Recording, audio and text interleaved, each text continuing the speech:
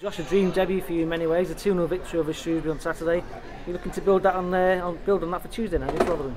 Uh, yeah, definitely. I think it was probably a dream start, but um, we just need to keep focused and take it game by game, not to not get too ahead of ourselves. But yeah, looking forward to it. How did you enjoy the game on Saturday? Uh, yeah, loved it. Yeah, I think it was a great debut. Uh, I felt felt good. I felt the team was good, and just really enjoyed it. To be fair, I think we deserved the win, and obviously been working hard all week. So just take it to the next one. The next one, just need to keep grinding. You had a little niggle at the start of the season, but uh, you've overcome that now? Uh, yeah, overcame that. I think uh, just rolled my ankle a wee bit. It was obviously 10 days, two weeks, so that kind of set me back a wee bit. But I was working very hard with the physios. Physios were brilliant with me uh, to kind of get me back as in a good shape. So yeah, I'm really thankful for them.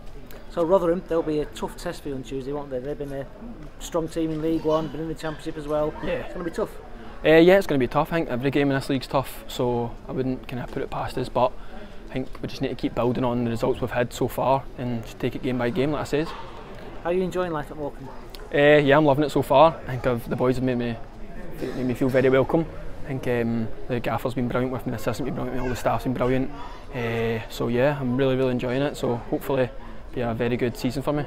You got a taste of League Two last year, Harrogate Town. They're now in League One. Is there much difference so far? I know you've only played one game.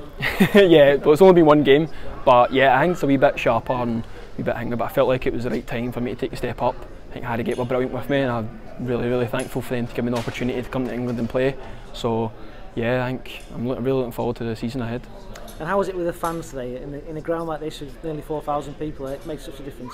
Uh, the fans were brilliant today. I think even when I was coming off, obviously the clapping and stuff. So uh, the fans were brilliant, especially with the atmosphere. I think it helps spur the team on more and more, especially in the dying minutes of the game when 2 0 up. I think they kind of do they played their part definitely.